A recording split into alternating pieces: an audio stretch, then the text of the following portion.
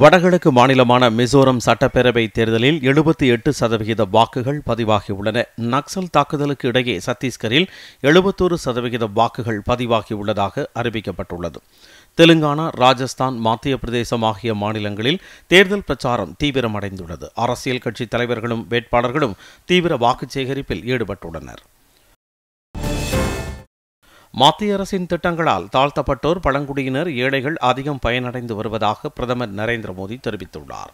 தெலுங்கானா மாநில சட்டப்பேரவைக்கு வரும் முப்பதாம் தேதி தேர்தல் நடைபெறவுள்ளதைத் தொடர்ந்து அங்கு பிரச்சாரம் தீவிரமடைந்துள்ளது. பாஜக வேட்பாளரை ஆதரித்து ஹைதராபாத்தில் பிரச்சாரம் செய்த பிரதமருக்கு வழிநெடுகிலும் உற்சாக வரவேற்பு அளிக்கப்பட்டது. ராஜஸ்தானில் சட்டம் ஒழுங்கு மிகவும் சீர்குலைந்து விட்டதாக மத்திய உள்துறை அமைச்சர் அமித் ஷா குற்றம் சாட்டியுள்ளார். வரும் இருபத்தி ஐந்தாம் தேதி நடைபெறும் சட்டப்பேரவை தேர்தலை ஒட்டி பாஜக வேட்பாளர்களை ஆதரித்து குச்சாமான் என்ற இடத்தில் அவர் பேசுகையில் முதலமைச்சர் அசோக் கெலாட் தலைமையிலான காங்கிரஸ் ஆட்சியில் மக்கள் எந்த நன்மைகளையும் பெறவில்லை என குற்றம் சாட்டினார். ஏழை மக்களுக்காக மத்திய பாஜக அரசு உரிய திட்டங்கள் எதுவும் செயல்படுத்தவில்லை என காங்கிரஸ் தலைவர் மல்லிகார்ஜுன கார்கே கூறியுள்ளார்.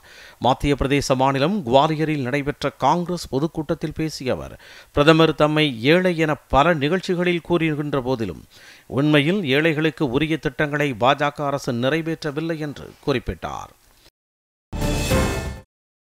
உலகளாவிய சவால்களை எதிர்கொள்வதற்கு நவீன தொழில்நுட்பத்தை பயன்படுத்துவது அவசியம் என்று குடியரசுத் தலைவர் திரௌபதி முர்மு வலியுறுத்தியுள்ளார். உத்தராகண்ட் மாநிலம் கோவிந்த் வல்லப்பந்த் பல்கலைக்கழக பட்டமளிப்பு விழாவில் பேசிய அவர் பயிர் மேலாண்மை நானோ தொழில்நுட்பம் இயற்கை விவசாயம் போன்றவற்றின் மூலம் விவசாயத்தில் டிஜிட்டல் தீர்வுகள் அறிமுகப்படுத்தப்பட்டுள்ளதாக குறிப்பிட்டார்.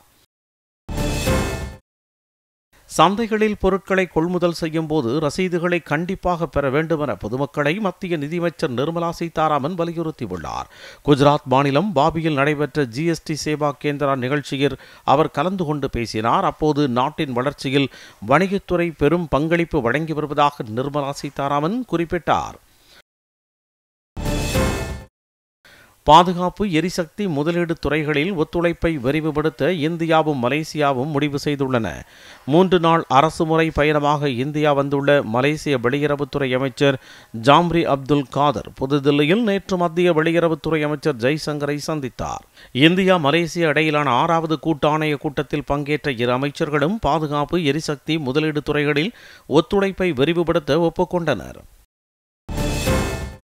தொழில்துறையில் இந்தியா சிறந்து விளங்கி வருவதாக ஆளுநர் ஆர் என் ரவி தெரிவித்துள்ளார். காஞ்சிபுரம் அருகே உள்ள ஒரு கல்லூரியின் பட்டமளிப்பு விழாவில் பங்கேற்று பேசிய அவர் பொருளாதாரம் தொழில் உள்ளிட்ட துறைகளில் மற்ற நாடுகளுக்கு முன் உதாரணமாக இந்தியா திகழ்ந்து வருவதாக கூறினார். தமிழ்நாட்டில் கூட்டுறவு சங்கங்களில் பணிபுரியும் ஊழியர்களுக்கு பத்து சதவிகித போனஸ் வழங்க முதலமைச்சர் மு ஸ்டாலின் ஆணையிட்டுள்ளார். மேலும் போனஸ் சட்டத்தின் கீழ் வராத தலைமை சங்கங்கள் மற்றும் மத்திய சங்கங்களின் பணியாளர்களுக்கு மூன்றாயிரம் ரூபாயும் தொடக்க கூட்டுறவு சங்கங்களின் பணியாளர்களுக்கு இரண்டாயிரத்து நானூறு ரூபாயும் தீபாவளி பண்டிகையை முன்னிட்டு கருணைத் தொகையாக வழங்கப்பட உள்ளது தீபாவளி பண்டிகையை ஒட்டி நெல்லை வந்தே பாரத் விரைவு ரயில் உட்பட அறுபது சிறப்பு ரயில்கள் இயக்கப்படுகின்றன.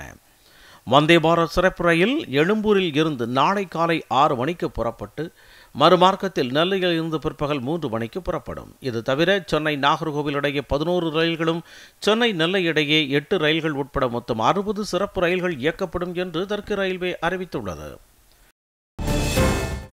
உலகக்கோப்பை கிரிக்கெட் போட்டித் தொடரின் முப்பத்து ஒன்பதாவது லீக் ஆட்டத்தில் ஆப்கானிஸ்தான் அணியை மூன்று விக்கெட்டுகள் வித்தியாசத்தில் வீழ்த்தி ஆஸ்திரேலிய அணி வெற்றி பெற்றது. இதனிடையே இன்று புனே நகரில் நடைபெறும் போட்டியில் இங்கிலாந்து நெதர்லாந்தை எதிர்கொள்கிறது. இந்த போட்டி பிற்பகல் இரண்டு மணிக்கு தொடங்குகிறது. மெக்சிகோவில் நடைபெற்ற சர்வதேச மகளிர் டென்னிஸ் போட்டியில் போலந்தின் இகாஸ்வியாடெக் சாம்பியன் பட்டத்தை வென்றுள்ளார். இதன் மூலம் சர்வதேச தரவரிசை பட்டியலில் அவர் மீண்டும் முதலிடத்தை பிடித்தார். தென்கிழக்கு மற்றும் அதனை ஒட்டிய மத்திய கிழக்கு அரபிக்கடல் பகுதியின் மேல் வளிமண்டல கீழடுக்கு சுழற்சி நிலவுவதால் தமிழ்நாடு மற்றும் புதுச்சேரியில் கனமழை பெய்யும் என சென்னை வானிலை ஆய்வு மையம் தெரிவித்துள்ளது. இதுகுறித்து அந்த மையம் வெளியிட்டுள்ள செய்திக்குறிப்பில் அடுத்த ஏழு நாட்களுக்கு தமிழகத்தில் மழைக்கு வாய்ப்பிருப்பதாக தெரிவிக்கப்பட்டுள்ளது.